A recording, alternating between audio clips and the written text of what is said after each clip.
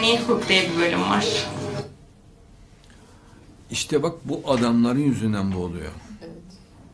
Çünkü ne diyor? Size işte önüne gelen diyor ki seni tutuklatırım, seni astırırım, seni kestiririm bilmem ne. Bunlar derken yani bu kafadaki adamlar, bu ismi geçenler için demiyorum.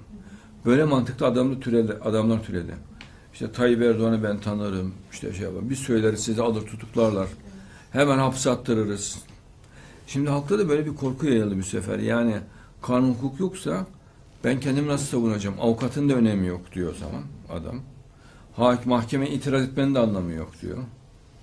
Yani yapacak hiçbir şey yok diyor adam ne diyorsa yapacak teslim olduk artık da getiriyor. Bu Tayyip Hoca'yı zor duruma sokmak için yapılan bir oyun. Burada Tayyip Hoca'ya yardımcı olalım, destek olalım. Ee, hukuktaki bu oyunları e, ilgili birimlere bildirelim.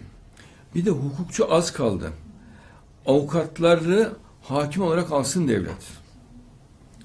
Yani avukatları hakim olarak alsın. E, çünkü FETÖ'cü hakimler var halen. Bu görülüyor. Yani çok şımarık arsız olmalarından anlaşıyor. Çok arsız olur onlar. Çok pervasız olur. Yani bir deli cesareti oluyor onlarda. Adam gözüne baka baka sahtekarlık yapıyor. FETÖ'cü hakim. Ee, bunlara karşı hükümete bilgi verilmesi lazım. Ama doğru bilgi vermek lazım. Tabii yani dikkat dağıtacak şeyler olmaz. Ee, hükümet kuşatılmış durumda. Milliyetçi Hareket Partisi'ne çok iyi destek olmak lazım. AK Parti'ye çok iyi destek olmak lazım. Yani Sayın Bahçeli'ye destek de çok hayati bir konu. Sırf Tayyip Hoca'ya değil. Sayın Bahçeli'ye de çok iyi destek olması lazım. Yani sırf- Tayyip Hoca'yı iktidarda tutmak için ayrı. Ama Bahçeli'nin şahsına var gücümüzden destek olmamız gerekiyor. Çok değerli ve çok kıymetli bir insan. Ama akitçilerin hedefi, bak dikkat ederseniz.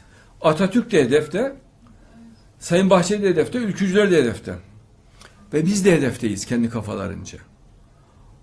Onun için çok akılcı bir mücadele gerekiyor. Mesela bak dikkat edersen çok gereksiz, münasebetsiz şeylerden çok büyük oyunlar oynamaya kalktılar. Allah belalarını verdi, tepe takla indiler aşağı. Mesela hiç ummadık yerlerden başımızı işe sokmaya çalışıyorlar. Tahmin tahayyül edemeyecek yerlerden başımızı belaya sokmaya çalışıyorlar. Yani son olayları kastetmiyorum yani. Eskiden beri yaptıklarını söylüyorum.